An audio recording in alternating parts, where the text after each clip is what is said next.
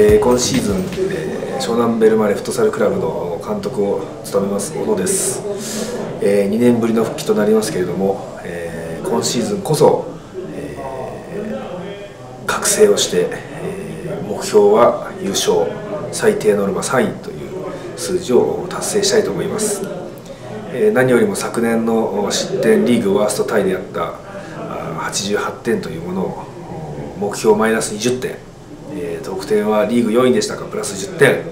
え、これを達成することによって最低3位、えー、優勝へと近づいていけると思います、え、今シーズン、え、熱い試合をお見せしたいと思いますので、えー、ぜひ会場小田原アリーナへ、え、お越しください、え、今シーズンもよろしくお願いいたします。